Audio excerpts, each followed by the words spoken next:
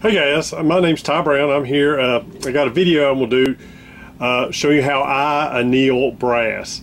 Um, I've seen you know people use a straight flame to do it, and you know you can over you can overcook your brass.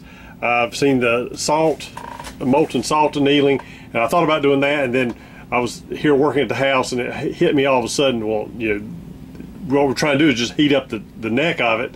So what I did was. Um, I took an old 8 millimeter um, uh, socket I took a Dremel tool and I rounded it out. And what I've done is I've made a lot of, uh, I've converted a lot of uh, 223 brass into 300 blackout and I made it where it will just fit inside. It'll just set inside here. So um, what I did is I've got I've got an extension here, ones that you got to be willing to throw away because you're really heating it up high. And to get this uh, to stay in place, this uh, the um, socket, I had to take and pound.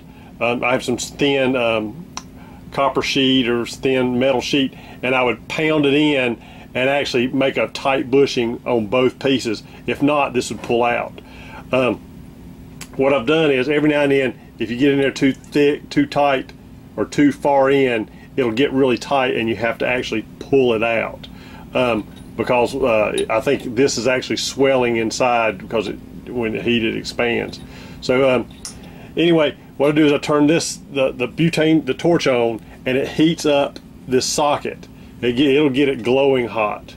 And then what I do is I take this in, put it in, and about 10 seconds later, it'll it will um, actually get it hot enough uh, to I believe it gets a pretty good anneal on it. It actually changes the color of the tip and then I just drop it into a bucket of water. Um, but anyway, let me get my little system set up here. I'll um, show you how it works here. Just um, I gotta get everything set up and ready to go. Okay guys, you can see here it's I got it set up, got it running. You see it's just cherry hot there. So I just take a, a, a bullet or casing, lay it in there. I count to 10, and pull it out and you can tell it has changed color.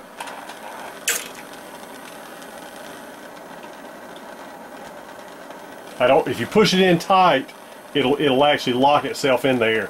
I think like I said I think it's swelling up because it's getting hot. But you can see it start to change color.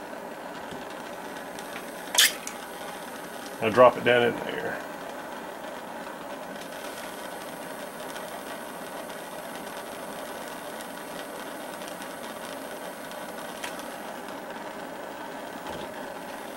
But I, am not sure if you can tell the color change there, but it's definitely changing.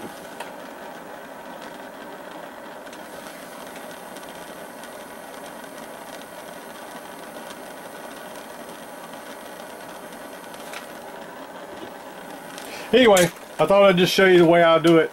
It's uh, cheap. It's you know, I, probably got the biggest thing I got in is, is, the torch, and I've had that a while, so um, it works really well. It didn't cost me but a couple bucks. And uh, it just sitting here in front of the TV, watch TV, doing this. You know, I can do a, a, a hundred or so in, in, about 15, 20 minutes. So anyway, I thought I'd just show you the way I did it. Um, I hope the video helps and y'all have a good day.